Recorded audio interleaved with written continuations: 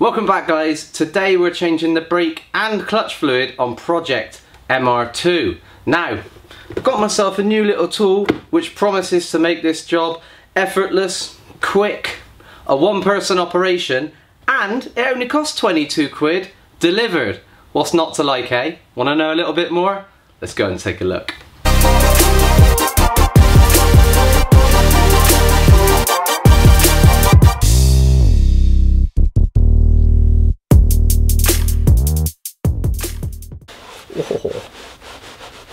Dry carpets. What a treat. Now then, first of all, why are we changing brake and clutch fluid?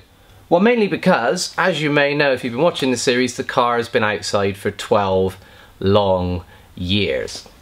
And also, the brake pedal is a decent pedal, and the clutch pedal, ooh, bit stodgy, and then you get a little bit of a bit of pedal there. Now also brake fluid is hygroscopic, which means it absorbs water, which is why there are regular intervals that you should adhere to when you change your very often overlooked brake and clutch fluid. So let's have a little look at the tool that we've bought and I'll show you how it's going to make that job so, so easy. The Sealy Pneumatic Vacuum Brake Bleeder. Now I've not gone for this because it's Sealy, I went for it because it was cheap. Now I have done a video on this before on a manual vacuum bleeder which I thought was the easiest thing in the world but trust me this is gonna trump that it's gonna make it even easier. We have a canister and we have a little tube at the end with a handy hook on it and that hole there is to go over our nipple on our caliper or clutch slave cylinder. We simply attach air from the airline to the end of it and we press and that turns into a suction.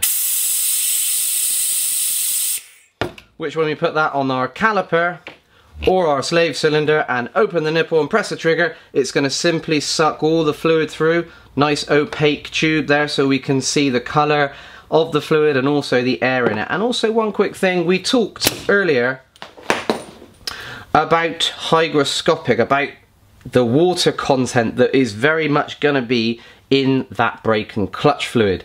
The water has a potential to boil when you brake. When it gets hot inside the calipers, it causes stodgy pedal, it causes brake fade, and it also causes the clutch to potentially not bite where it should do, and also causes a stodgy pedal. So without further ado, let's get connected up, and let's go for it. Right, we've removed the plastic trim in the... Is it a frunk, guys? Is it a frunk? I call it the front boot. We've removed the plastic trim in the front boot and now we can get the lids off and have a little look inside. Um, doesn't look the worst in the world, I'm not going to lie. The clutch is a little bit low and the brake is also a little bit low.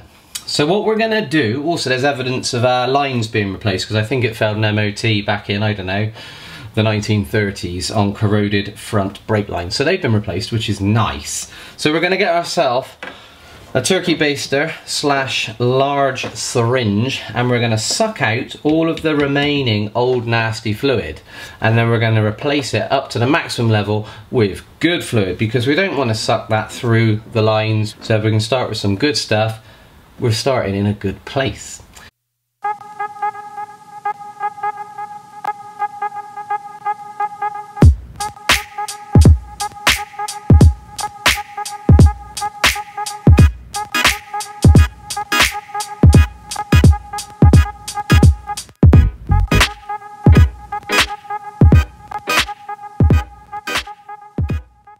That's that done. The next thing I'm going to do is clean out with a bit of blue roll the clutch because it's not very nice. It's not a nice place to be. The brakes look pretty smart. They look all right. I'm uh, I'm happy with that. However, the clutch, have a look inside. That is disgusting. So let's give that a good old clean out um, and replace it with new fresh fluid. Well, that escalated quickly. 19mm nut, sealing washer, reservoir removed and cleaned and the little float removed as well. But it's the only way to get rid of all of that nasty, horrible crap. Time to put it back on the car. And our fluid of choice is DOT 4. The original car had DOT 3, but that's now been replaced by DOT 4. There you go. That's those two topped up with fresh fluid and it is already looking a hell of a lot better. Lovely golden fluid in the clutch and the same in the brakes. Both on the maximum, so it is now time to slide underneath the car, get our special tool out, and first of all we'll do the clutch. Now then, where is the clutch slave cylinder? Oh, just go past that. Oh, new exhaust. More in that next episode. Yeah, it's all coming on. Anyway, moving on.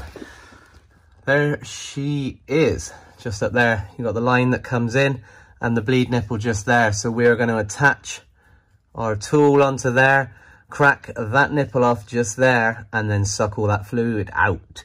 Now, flexi line there, hard line there that runs the length of the car to our master cylinder. So obviously we're going to have to suck enough fluid down uh, all the way through all the dirty fluid until it comes out clear. And then we should have a good clutch pedal. Yes! Result! If that would have gone wrong, I would have been really Just slip a ratchet spanner over there in the do-up position so that when we've got all that fluid through, we can just ratchet it closed.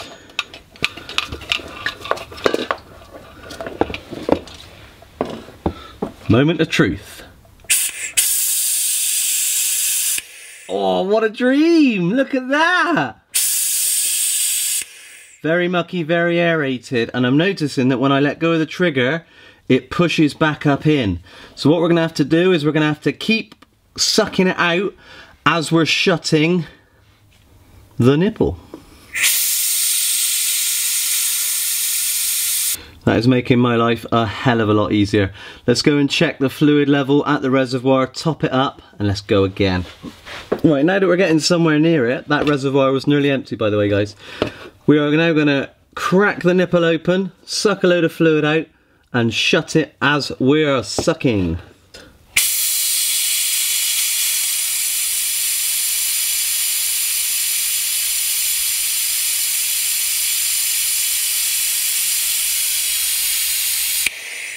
Let's go check the clutch pedal.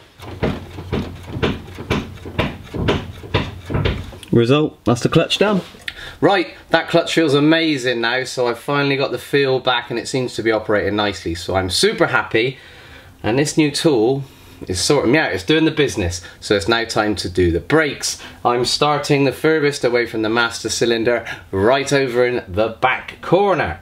So, same process applies. Crack open the nipple, suck some fluid through until it goes lovely and golden and then whilst we're sucking the fluid through close the nipple back up check the brake pedal for feel check for leaks move to the other side at the back then the front passenger side then we'll finish off at the front driver's side. Another job done. Closer to MOT as well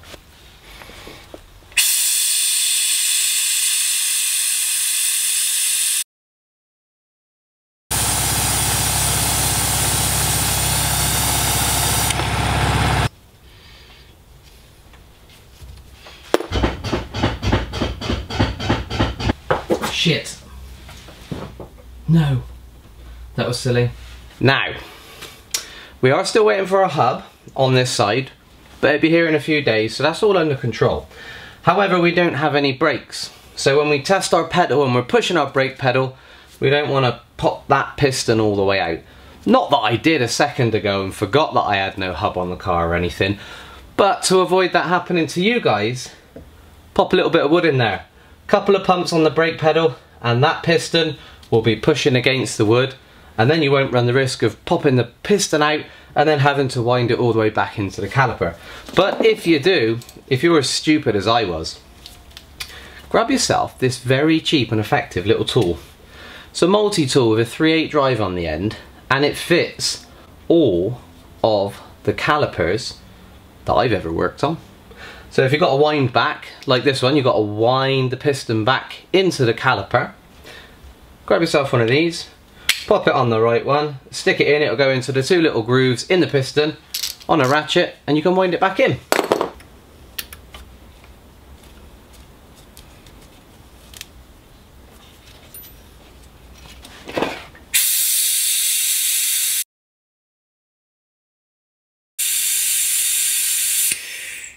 Sorted. Now, with the bit of wood in there, we've got a really good brake pedal. So there we go then guys. I think that went pretty well and that tool made it a very easy and pleasurable job.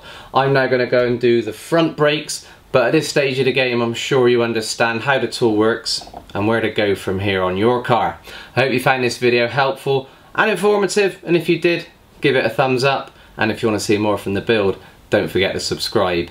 In our next episode as you saw from that little sneak peek the exhaust is on despite the fact I had to get the welder out to weld some captive nuts onto the chassis but never mind, we're going to put some plugs in, distributor cap, rotor arm, and we're going to get the car running in the next episode. Hopefully she'll be sounding pretty sweet. Oh, and uh, one other thing before I go. You know we fixed that coolant leak the other day? Just found a little puddle of water underneath the car on the other side by the gearbox. So that means more work to do.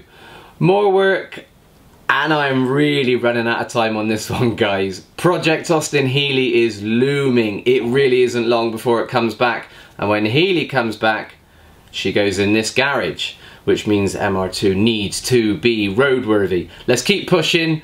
Let's get it done. Let's get an MOT. Let's see her back on the road. And then she can go on to her new owner to be improved and fettled and cleaned because she's very mouldy because she's been outside for so long neglected, unloved until eight weeks ago. And also guys, if you are struggling to find time for your project, there are no excuses. Get a couple of hours in on yours, you'll feel great about yourself, you'll step back and you'll go, I've done something tonight, I've achieved something, and then next time I'm going to achieve even more. There are no excuses. Get your project back on the road, give her the love she deserved. Stay tuned, see you soon, goodbye.